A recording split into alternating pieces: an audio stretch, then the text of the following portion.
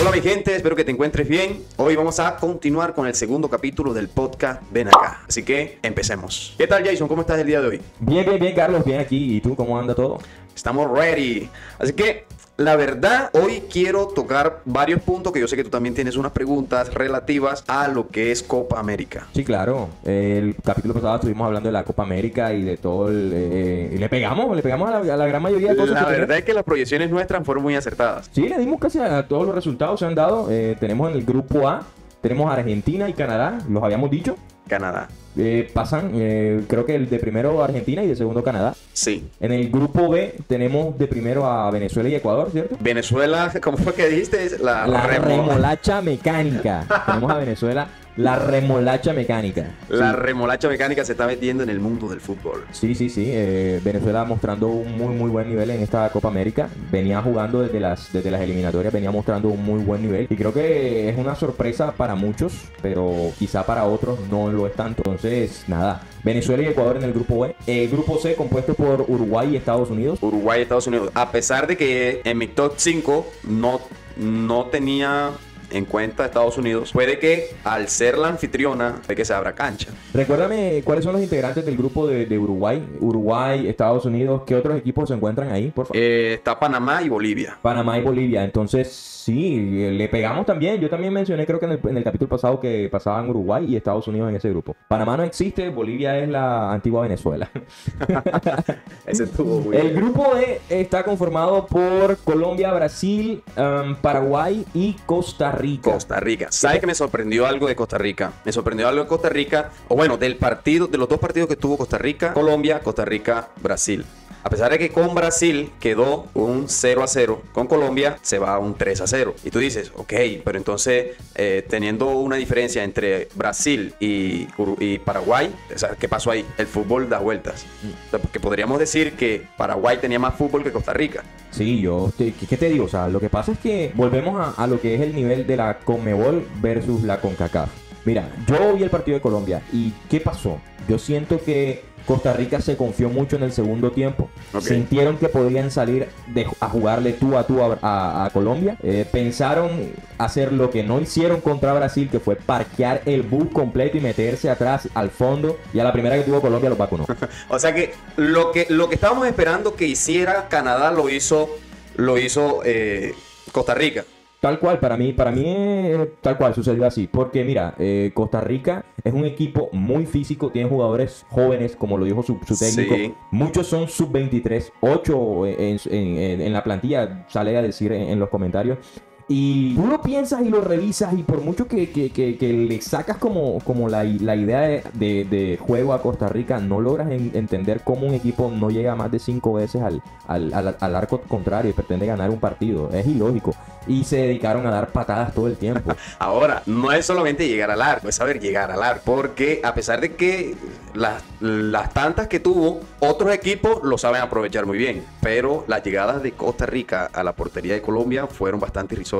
Sí, yo, yo qué te digo, o sea, eh, hay equipos que en la vida saben jugar fútbol, hay equipos que saben jugar bien, saben gustar, otros equipos saben ganar. Yo hoy en día tengo que decir la selección Colombia, pese a no jugar un muy buen tiempo, muy muy bien primer tiempo, ha aprendido a saber cómo ganar. No fue un partido vistoso, no fue un partido bonito, fue un partido de roce, fue un partido de choque, fue un partido en donde las dos escuadras estaban tratando de dar lo mejor de sí. Costa Rica hizo un muy muy buen planteamiento defensivo en el primer tiempo. La verdad, sí. Sin embargo, eh, Colombia fue muy superior en el segundo tiempo precisamente por eso, porque siento que Costa Rica pensó que tenía la oportunidad, se abrieron en el marcador, aprovecharon, James hizo su magia y tenga. Y el primer, el primer penalti es una estupidez del arquero. Es una estupidez, eso.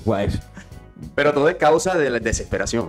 Mira, yo no quiero ser ave de mal agüero, pero apuestas. Apuestas.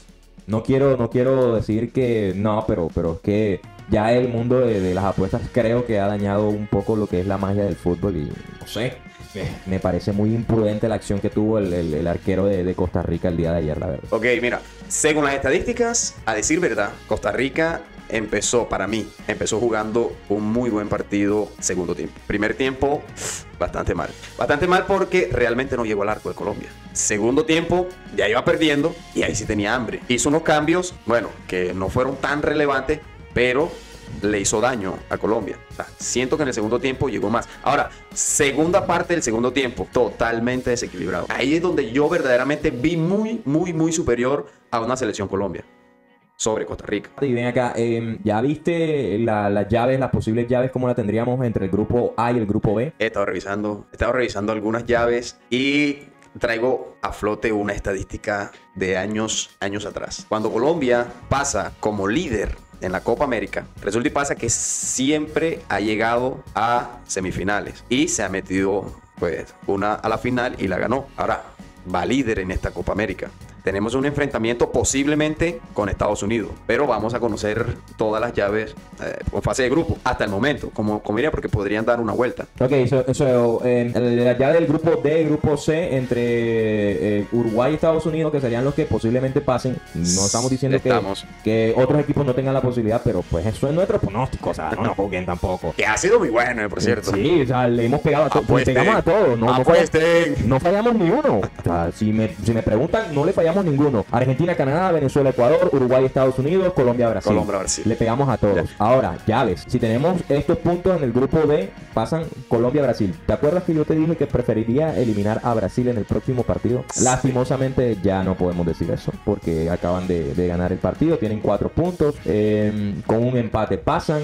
Bueno, lo puede eliminar. ah, ah, ¿Lo puede eliminar eh, Paraguay? No. No. ¿Lo puede eliminar mm, Costa Rica? Lo puede igualar. Lo puede igualar, pero, Pero en diferencia de goles, En ¿no? diferencia de goles, pues pasearía a Brasil. Está difícil, ¿no? Está difícil, está difícil. En ese está claro, Colombia-Brasil. Colombia-Brasil, Colombia Colombia pasa de primero, Brasil pasa de segundo. Entonces nos dejaría los, los enfrentamientos. Vamos con las llaves. Uruguay se enfrentaría a Brasil. Brasil. Y Colombia se enfrentaría a Estados, Estados Unidos. Perfecto. Que ya han jugado. Que ya juega, exactamente. Eh, grupo A, tenemos Argentina, Canadá y tenemos Venezuela, Ecuador. Venezuela, Ecuador. ¿Quién se enfrenta contra Argentina? ¿Venezuela o Ecuador? Iría Ecuador. Argentina contra Venezuela, Canadá contra Ecuador o Argentina contra Ecuador y Venezuela contra Canadá. Iría Argentina contra Ecuador y Canadá contra Venezuela. Ok, ok, listo, listo. Esos son nuestros pronósticos. Entonces, tendríamos en los cuartos de final, tendríamos eh, la lucha de Argentina contra Ecuador. Ecuador. ¿Quién pasa? Argentina. Argentina. Y vamos, vamos, vamos, vamos guardando esto. Vamos guardando, ya, Vamos vamos guardando guardando. esto. Esta, esta vendría siendo la semifinal. ¿cierto? Semifinal. Tendremos del otro lado, tendríamos a Canadá. Canadá, Canadá y tendríamos a Venezuela. Venezuela. y ahí ¿Quién- está duro. Sí, está muy fuerte, está muy fuerte. Canadá versus Venezuela. Pronóstico tuyo, ¿tú consideras que Canadá tiene lo suficiente mm, fuerza testicular como para poder pasar ante Venezuela? Es la remolacha mecánica. Yo voy con Venezuela. Me encanta ese nombre. Yo voy contra Venezuela. Yo voy con Venezuela. Me, me decanto por Venezuela. Voy por Venezuela. Mm, Vamos a. La verdad, Venezuela se ha venido levantando. Sí, sí, sí. Venezuela tiene una, una- Tiene un buen fútbol. Tiene un buen fútbol, sí. Tiene un Además, buen el arquero de Venezuela. Sabe aguantar muy bien el, el- el- el resultado de Venezuela. Sí, Sabe defender muy bien. ahí pasa Venezuela. Sabe, sabe A pesar de que Venezuela no estaba dentro de mis cinco, actualmente lo está. Pasa Bien, Venezuela. bien. Eso pasa en el fútbol. Y si nosotros nos damos cuenta, eso es algo que podemos eh, ir descubriendo a medida que vamos viendo los partidos. Y era fundamental. Entonces tendríamos eh, entre el fi- finalista Argentina versus Venezuela. ¿Pasaría quién? Uy, trayendo, trayendo nuevamente tu, tu opinión, tu humilde opinión en, la- en el podcast pasado, capítulos anteriores. Pasaría Argentina. Argentina, líder de la llave del grupo. Porque supuestamente, supuestamente tus proyecciones y tu estudio, tu análisis, estaría diciendo que Venezuela estaría por fuera por esa mano invisible.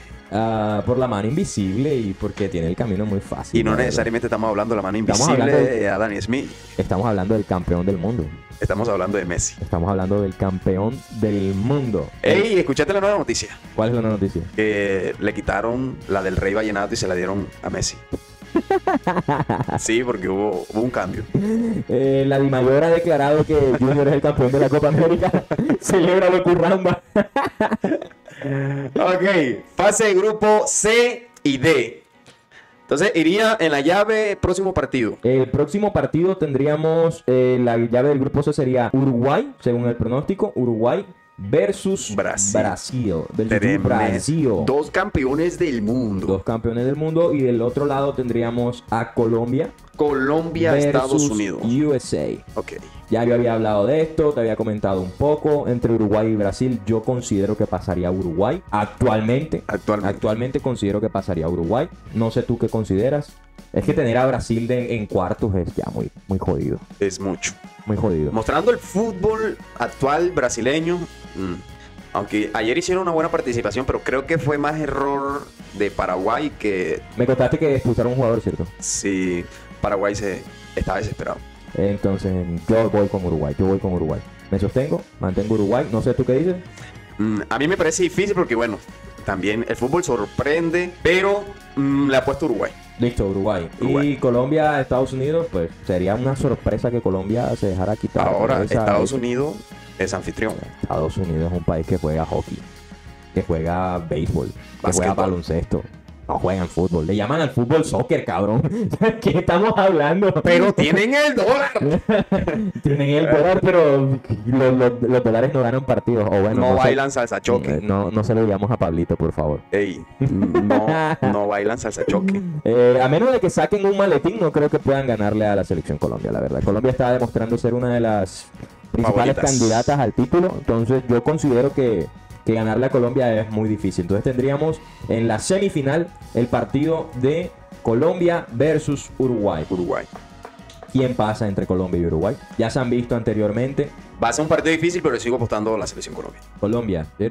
y las- Sí. la final sería Colombia-Argentina. Colombia, Argentina y Final de Copa América sería un poquito de quitarnos de esa rasquinita que nos tienen de la Copa América del 2001. Es la segunda vez que Colombia llegaría a, a esta final y con la posibilidad de ganarla ante un equipo argentino bastante fuerte. ante un equipo argentino que da de qué hablar todavía. Sí, claro. Entonces, nada, esos son nuestros pronósticos para la Copa América. Gente, esperemos que se cumplan y nada. Esperemos que con estos pronósticos hagan sus apuestas y manden regalitos, por Dios. ¿Ya viste lo que pasó en Barranquilla recientemente, el día de ayer? Ah, ayer, eh, ¿Con ¿conoces, Westcott? conoces, conoces los... Sí, ¿conoces los streamers? ¿Tienes, Sí. tienes- tienes conocimiento de streamers? Tengo conocimiento. Ah, Algo. ¿Conoces a Westcott? Yes. A Westcott. A él sí. Ah, Westcott lo conoces. ¿Qué, qué, qué, qué opinas de, de Westcott? Referencia de Westcott, bastante irreverente. Sí, bastante. Bastante polémico también. bastante Polémico. picante el tipo. Eh, El man, el man mantiene un personaje constante. Westcott es un personaje. ¿Te parece que Westcott es un personaje? No se muestra naturalmente como lo que es. Mm, No, no, no me atrevería a decir, no me atrevería a decirlo como que, que no se muestra tal vez como lo que es, sino que eh, él se muestra lo que es. O sea, entonces, espera, ¿cómo lo vas a decir? mira el análisis, mira el análisis. No hay más allá. Él es eso. Él es un personaje. Ya, Él en sí- decir, decirme, decirme o preguntarme de que Westcott no se está mostrando como es, es decir que hay, hay dos, dos Westcott. El que muestra en la cámara, yo me atrevo a decir que solo hay uno, Un solo Westcott. un Eh, el personaje. Bueno, mira, yo, yo qué te digo, o sea, yo he visto, yo no soy muy seguidor de streamers, eh, poco soy seguidor de, de- de contenido de eso, pero me llamó mucho la atención porque ayer hicieron un live y me pareció muy curioso, por ahí les dejamos imágenes del live de, de una, un poquito de las imágenes de lo que yo pude ver el día de ayer. Porque de veras yo reconozco de que si soy mujeriego, sabía que era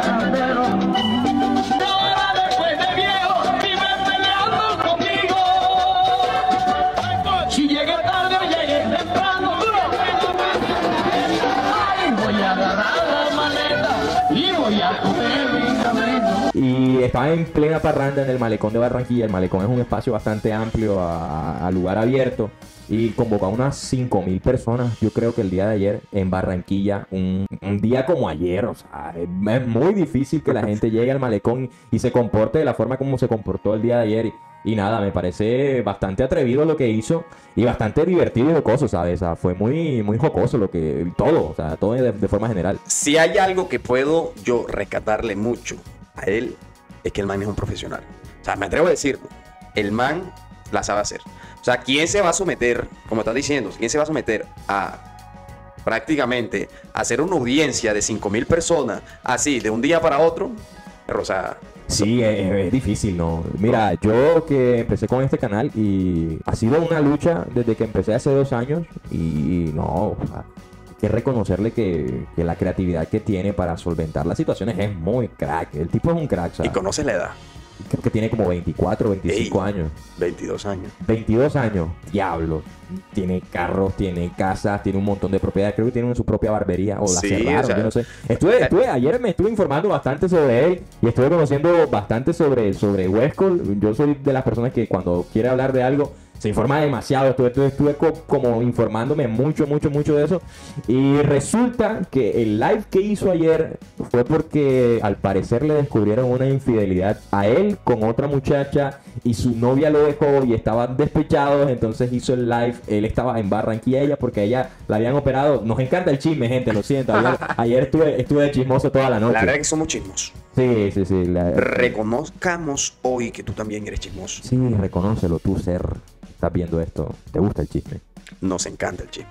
Nos encanta el chisme. Ahora ven acá. O sea, si estaba haciendo una declaración pública Bueno, no, no, no era, no era declaración pública, era un live. eh, Era un live, es un live. con Eh, doble sentido. Pues, ¿qué te digo? Armaron un parrandón. O sea, yo, yo empecé a ver las cosas porque me empecé a informar porque veo que veo los clips y veo que están cantando canciones de Diomedes, canciones de despecho. Y yo digo, ¿qué pasó aquí? Ahora ven acá.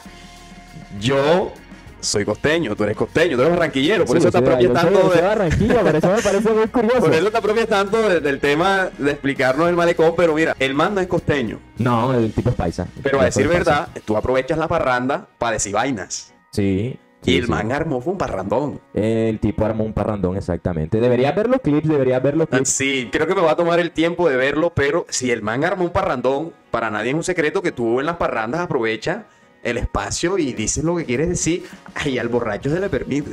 Al borracho se le permite, sí. Eh, es verdad, es verdad. Son Eh, maricadas. Eso, eso son cositas, cositas. ¿Por qué él, él llega hasta ese punto? O sea, yo no conozco bien qué pasó ahí. La en esa- situación es que, bueno, entre lo que eh, entre lo que yo pude in- encontrar, al parecer él llevaba como que escribiéndose varios días con una persona. Entonces como que estuvo en un lugar en donde estaba salido con los amigos y en esa salida llegó esta mujer y luego la mujer como que le pidió que lo acompañara al baño, él fue y la acompañó al baño, después salieron y al parecer ella como que filtró una conversación en donde decía que ella había lo había besado, que se habían besado, que sabía que habían pero pero Westcol dice que él tiene todas las grabaciones, dice que tiene todas las conversaciones y que eso nunca pasó. Además de eso, espérate que, que además ¿De eso, hablo? Pero termina. Además de eso, sale la amiga luego porque él se comunica con la amiga y le dice, hey, sabes que todo lo que ella está diciendo es mentira. Porque la vieja lo hace público, hace conversaciones públicas y empieza a decir en un live que ella era la amante de Westcol. Ahora, ¿cuál? Es que estoy que me hable. ¿Cuál es el objetivo? O sea, ¿con qué fin? Ah, Ey, sí. Estoy, estoy muy seguro de lo que voy a decir. Porque yo soy un man de fundamento. si tú vas y te besas con alguien, ¿cuál es el sentido de que vayas a decirle a todo el mundo que te besaste con alguien? Ahora, en caso dado haya sido así. Porque es que para mí es una ridiculización lo que. O sea, de yo ir a hablarle a la gente, a decirle a la gente, oh, me besé con alguien. Salí, nos besamos y, y público me besé, gente me besé con. Ahora, ¿por qué es Huesco? Em, pues prácticamente él lo dice, ¿qué necesidad tiene ella de hacer eso? Y, y él en, en un live, pues, luego de, de que pasó esto, es que comí mucha información ayer, bro, lo Ey, siento. eh, está Me- indigestado de- de me chisme. mucho- mucho- eh, fue muy particular porque me llamó mucho la atención que estuvieran ahí en, el malecón, emparrandado y todo. Yo dije, yo soy una persona que se obsesiona con la información y ayer me puse a comer demasiado contenido de él y creo que me terminó gustando la cosa, me pareció muy jocoso, me pareció muy divertido. Nada, hubo un primo que hace unos días me, me lo mencionó a él y me dijo, oye, ¿conoces a este man que no sé quién? Y yo, no, no sé quién es. Nada, que tiene casas, que tiene carros, pero yo no le presté atención hasta el día de ayer. Entonces, ayer que me coloco a ver la información, digo, uy, este tipo tiene lo suyo, o sea, tiene su gracia. Es un enano, chaparrito, le dicen Kiko también. Entonces, no sé, me parece muy, muy curioso, la verdad. No, yo sí lo conocía, pero no lo sigo. O sea, como de que soy consumidor del contenido, no. Pero sí he visto algunos clips de él, he visto he Bueno, visto. Yo, yo, yo todo lo que sabía de él era en contra de mi voluntad hasta ayer. Hasta ayer. hasta ayer. Sí. No, me, me parece un personaje muy, muy excéntrico. Me parece un personaje de esos que, que uno se saca de una historieta, de, de cualquier historia bastante particular. Y nada, eh, al parecer su novia Aida, Aida Merlano, que todos la conocemos, creo. Creo que Y todos la yo creo conocemos. que ahí sí ya hablamos en Sí, términos en- generales. En términos generales, ya todos creo que conocemos un poco la, la figura de lo que es Aida eh, por, por, por, lo, por el caso de su mamá, por el caso político y público que, que se llevó a cabo eh, sobre la posible condena que tiene ella en los próximos días. También me enteré con, con todo esto. Temitas. Sí, temitas que ella acaba de salir de una operación y justamente todo esto pasó mientras ella acababa de ser operada. Entonces es como que el show y el drama de toda la situación me pareció algo muy jocoso y de cómo las redes hoy en día están muy pendientes de la relación de estas dos personas, ¿sabes? Porque lo que pasa es que son tanto Aida como Westcott son, perso- son personajes, ¿sí? Y que generan mucha polémica. Y hoy todo lo que vende es a raíz de la polémica. O sea, si yo quiero imponerme hoy, o sea, una polémica, ¿Crees lastimosamente, ¿Crees que esto fue un complot mediático que los dos hicieron para generar contenido? si vuelven, que yo creo que ya volvieron, no sé si han vuelto, hay rumores. Pero, uy, pero ¿crees tú que es un rumor solamente para generar contenido? Que hicieron una campaña mediática para generar contenido. Casos se han visto. Casos han visto. Casos se han visto, entonces no, no sé. El show mediático existe. ¿Qué tanto, qué tanta diferencia hay entre la ficción y la realidad, gente? Hay que, hay que, hay que ser claros. con Esa pregunta fuese relevante dos décadas atrás.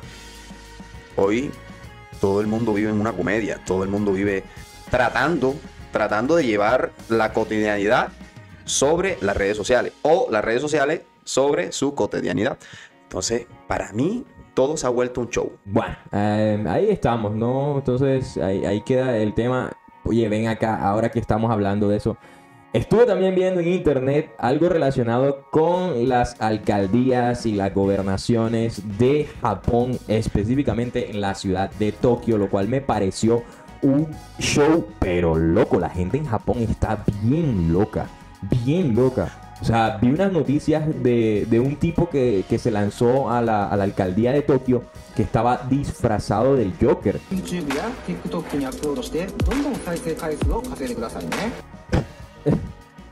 Disfrazado del Joker, man. Está bien loco. El tipo se hizo súper viral en redes sociales. El tipo hace sus propuestas y lo que hace es hacer un performance del Joker. Ahora, yo me pinto al Joker dando una propuesta política. No, loco, por ahí están los, los videos, está el video público en redes sociales. Es una locura esto. Ahora, los programas de televisión de Japón también son una locura. Sí, los comerciales también. Esa gente está en, en otro nivel, la Esa verdad. gente está loca. Esa gente está muy sollada.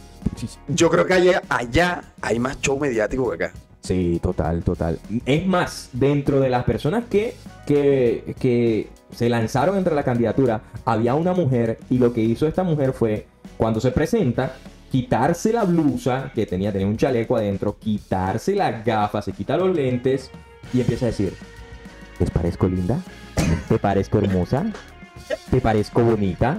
Puedes contactarme en mi line al número tal, tal, tal. tal". estaba promocionando. Bro, estaba haciéndose una publicidad política pagada, literal, pagada por el Estado. Como quien dice, utiliza el Estado, utiliza los canales del Estado y promociona tu OnlyFans. Esa es mi ídolo. Brother, ¿qué- qué- O sea, ¿quién qué- hace eso? Eso llama se permite en Japón. Eso, Japón, Japón es otro nivel. bro, Aquí en Japón Colombia, aquí en Colombia no lo permite. La cereza del pastel. O sea, hay más. Hay más. La cereza del pastel.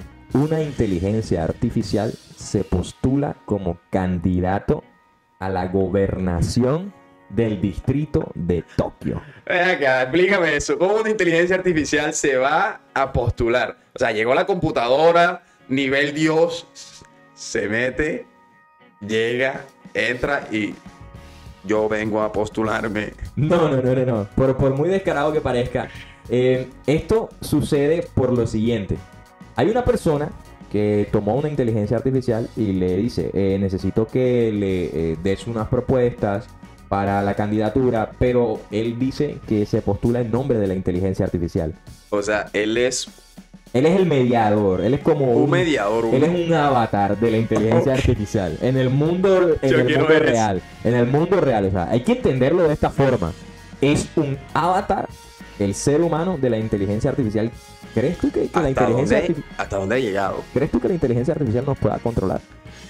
Yo creo que la inteligencia artificial no nos puede controlar, sino que nosotros nos dejaríamos controlar. Pero ya vimos esto. Terminator nos dio un avance de lo que una inteligencia artificial nos puede hacer, ¿no?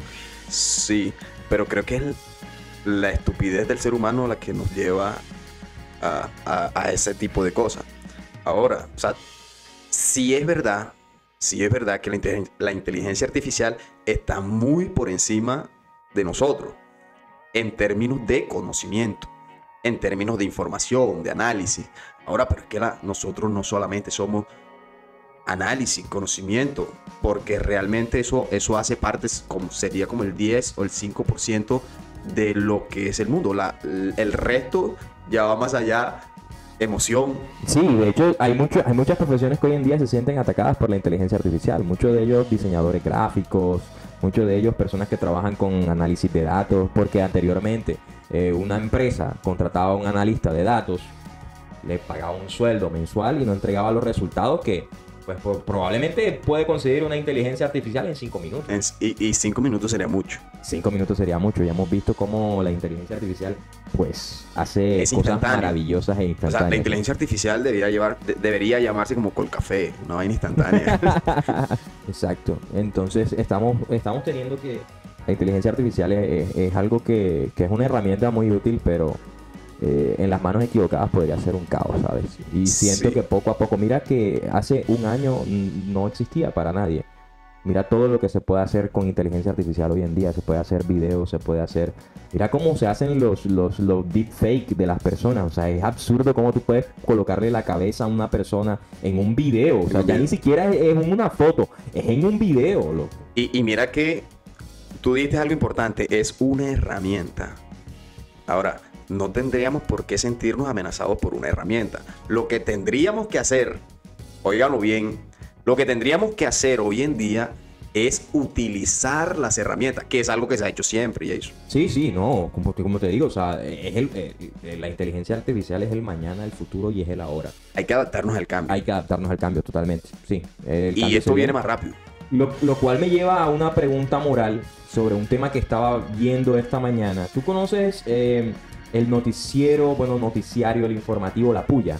La puya, claro. Sí, bueno, eh, hay un clip que, que vi esta mañana en TikTok. En la mañana me levanto y veo TikTok. eh, no sé si tú lo haces, yo sí lo hago. Eh, me pareció muy curioso. Deja y lo coloco nuevamente. Vamos a verlo por aquí. Vale. Se lo voy a- vamos a colocarlo aquí en, en el live para que la gente eh, en el live, en el, la costumbre de estar haciendo live de, de TikTok en las noches, para que lo vea aquí en el video y, y ustedes juzguen. Voy a colocar el, el audio. El audio.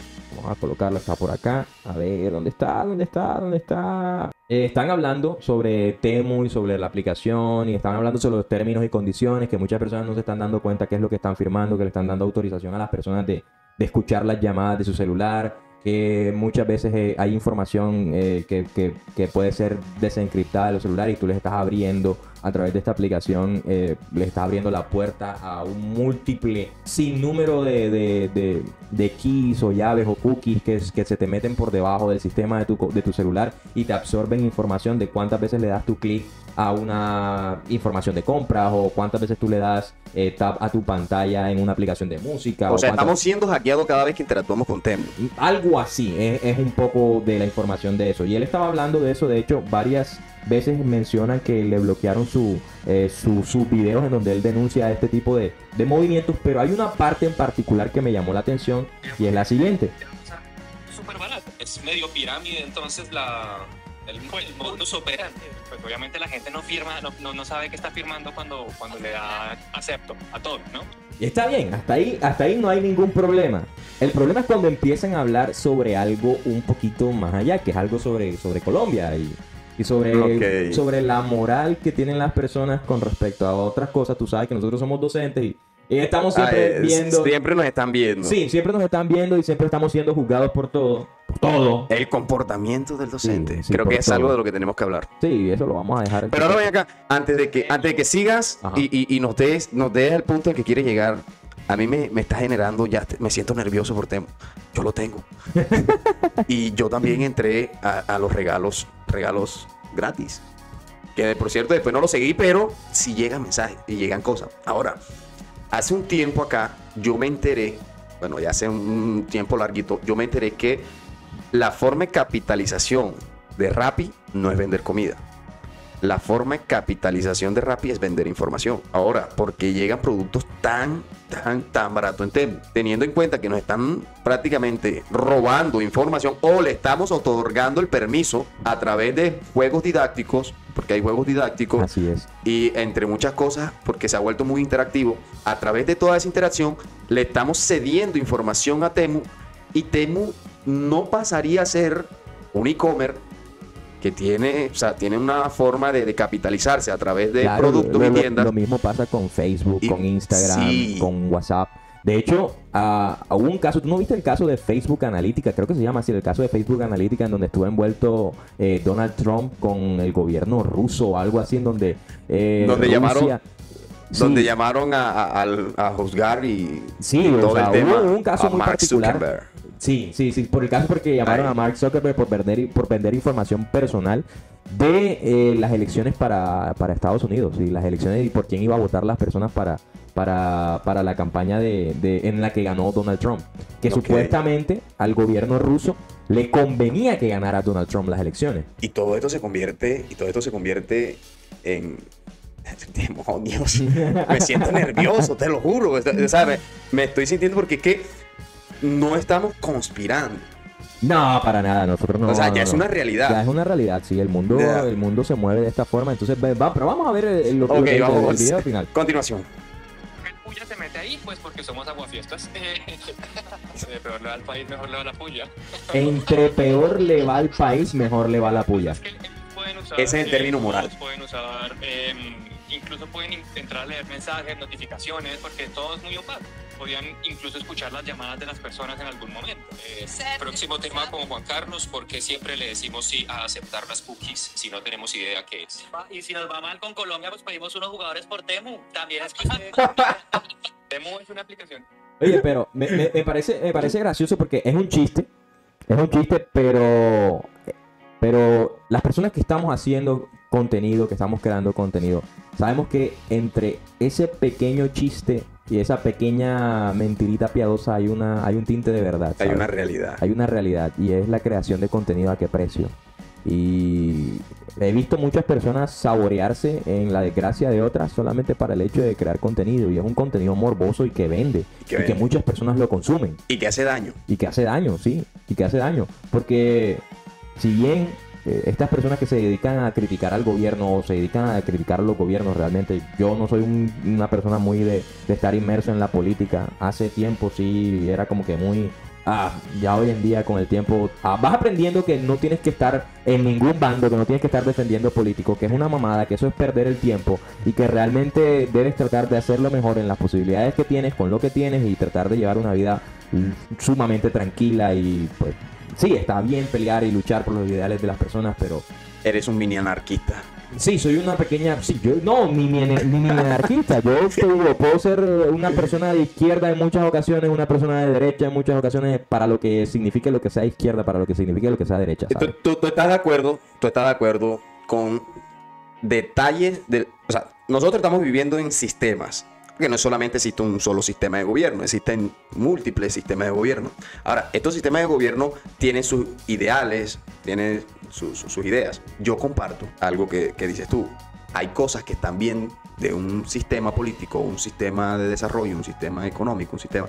Hay cosas que están bien y que deberían seguir haciéndolas, pero hay otras que no las comparto. Entonces, el hecho, el hecho de, de querer una sí y de pronto las otras no, eso no- nos comienza a sembrar un comportamiento dentro de nosotros como, hey, o sea, te lo voy a decir en este sentido. Hay muchas cosas valeverguistas donde no le des tanta importancia. Sí, total, total. No hay que darle tanta importancia a ciertas cosas en la vida. A veces nos llenamos de, de muchas cosas y, y todo lo dejamos así como... Quédate con lo que sirve. Sí, sí, O sea, totalmente. Porque es que si te pones, yo no he visto, yo no he visto el primero que llevando la contraria le haya ido bien. Ahí están muchas personas que, ahí están los profesores, votaron por, por, por, por Petro y son los primeros que han sido marginados en muchas situaciones de su gobierno. ¡Ay, no! Pueden decir lo que quieran, pero los profesores defendiendo a Petro en estos momentos están fuera de lugar, la verdad. Defender a ningún y de- de- defender a, a Petro y a cualquier político. o sea, Y es que eso es lo que te digo, eso es lo que te digo. O sea, no se puede ser tan ciego. O sea, Mira, y, y- malas. y hay algo muy importante, que es algo como lo que dice el muchacho. Eh, al gobierno jamás se le defiende. Jamás. Literal. Jamás se le defiende. Desde Literal. cualquier lado de la barrera. Al gobierno jamás se le defiende. Al gobierno se le pide que cumpla. Fin. Se le exige. Se le exige. Ah, Al gobierno tiene que En una, exigirse. en una democracia, al gobierno se le exige. Fin. Porque es que nosotros, nosotros no le estamos dando, nosotros lo estamos seleccionando. Y en un proceso de selección, tú seleccionas supuestamente al mejor porque tú tienes unos objetivos, unos fines. Tú estás, lo estás escogiendo porque también tienes un propósito particular. Entonces ahora, ahora mi pregunta va. En este caso, ¿la desgracia de unos sirve para hacer la dicha de otros? La y el contenido que estamos haciendo, si lo estamos haciendo conscientemente o solamente ya lo hacemos por el beneficio económico que tiene esto, ¿Con qué fin? ¿Estamos capitalizándonos o queremos dar información? se las dejamos ahí, ¿no? ¿Qué estás haciendo tú? Ya, Mira, estamos, estamos hablando en términos morales. Hablando en términos morales, ¿qué estás haciendo tú y por qué lo estás haciendo? Porque la pregunta es, ¿por qué lo estás haciendo? No qué tanto estás haciendo, sino cuál es el, cuál es el fin, cuál es el hecho. Así es. ¿Por qué lo estás haciendo, Jason? Yo lo estoy haciendo porque me gusta. Eh, es un proyecto que quería hacer desde hace rato.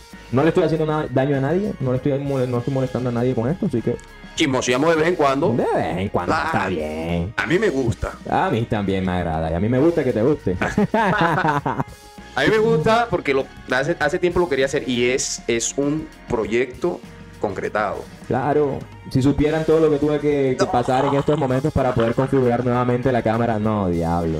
Y es, todo, se vuelve, todo se vuelve difícil. Sí, sí, sí, todo. Si no, si no tiene dificultad conmigo, yo siempre he tenido que si no tengo dificultad para hacer algo, no, no, no voy a lograr absolutamente nada. Y... Antes de terminar, me sigue dando vuelta en la cabeza ese comentario, ¿Cuál comentario? El de la puya. El de la puya. No, pues, eh, no sé, siento que es un poco desatinado. Es una broma, pero es una broma de muy mal gusto. o sea, a mí me parece una broma de muy mal gusto. Es súper corta, súper breve. Me parece una broma de muy mal gusto, cabrón. Ahora, ahora, es una broma. Porque es ahí. Es ahí donde, donde me da vuelta a mí. Yo creo que no es una broma. Creo que está muy bien aterrizada. Ese comentario está aterrizado. Claro, es que prácticamente su contenido se basa en eso, se basa en, en criticar. Lo mismo que te digo, hay gente que se dedica única y exclusivamente a criticar a otros. Como el contenido de los influencers, es entretener. Muchos han hecho campañas benéficas, muchos eso no les importa a la gente. No. Y sus campañas benéficas van a lo que ellos en ese momento están haciendo. Porque Exacto. yo conozco, sin ánimo de decir quién, que lo hacen solamente una vez en la vida. Y a ese contenido le sacan mil videos.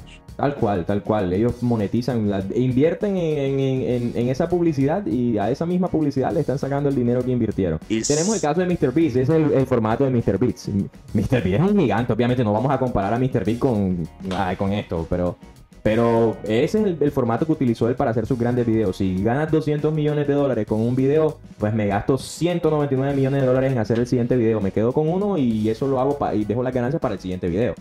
Ese es el formato que está utilizando él. Literal. Bueno, no ha sido más. ¿Tienes algo más para decir? No, yo creo que por hoy está bastante bien. Tuvieron buenos los. Sí, estuvo, bien fluida la cosa. Eh, nada, me despido de la gente. Cuídense, un saludo, les dejamos. Espero que dejen sus comentarios ahí en la parte de abajo, en la, en la caja de comentarios. Y nada, espero que hayan disfrutado de este segundo episodio del podcast. Ven acá.